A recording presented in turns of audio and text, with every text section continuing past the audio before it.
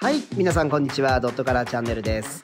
本日も Never Give Up ダンスコンテストの動画をアップしたいと思います。今日はプレイズの皆さんに登場していただきます。どうぞ。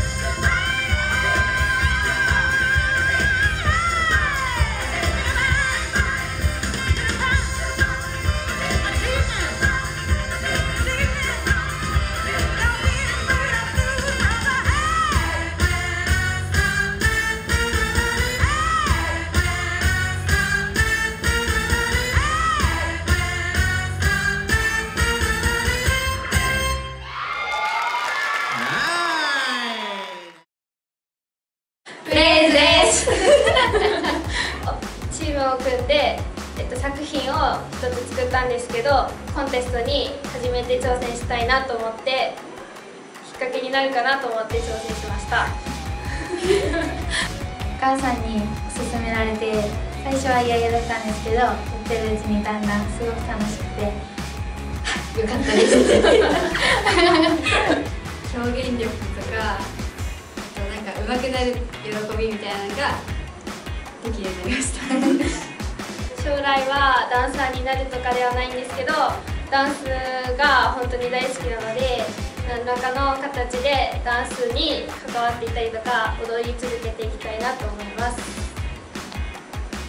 えっと私はまだなりたいものとか決まってないんですけどいつれか自分がすごく楽しいって思える仕事につけてそれでダンスも一緒にずっと死ぬまでできたらいいなって思います。